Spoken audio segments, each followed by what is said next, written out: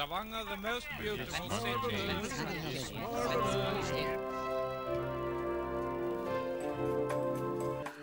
Det er perioder med sol i Stavanger, men regnet vil liksom ikke slippe taket.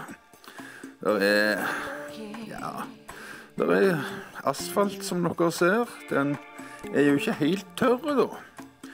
Og han tørker jo ikke helt opp heller, for det skal være byger. Det er typisk Stavanger og vestlandsvær, dette her.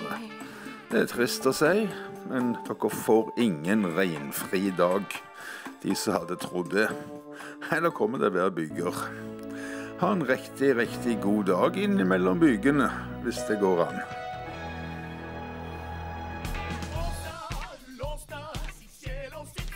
Altså, nå har vi jo kommet i en sånn situasjon at nå må jo noe gjøres. Det som skjedde, var at eh, Åse Kleveland fikk en sånn fiks idé.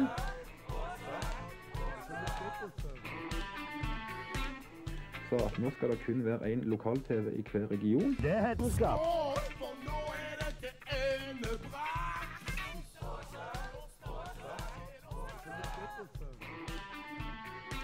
Og det er hedenskap. Hedenskap holdt ut.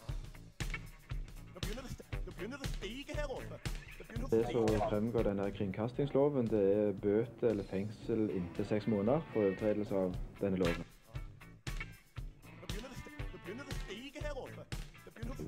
Da var det sånn de jobba under krigen òg, for å finne disse her sabotørene.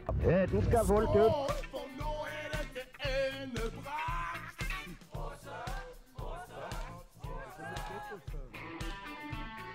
If you don't have any art, you're pretty much lost.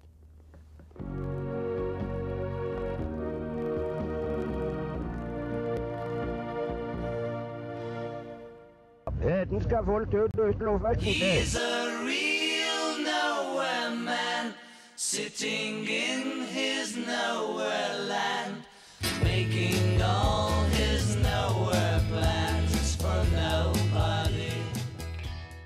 Ikke mere sukkertøy og ikke mere ladesleng. Ikke gulrot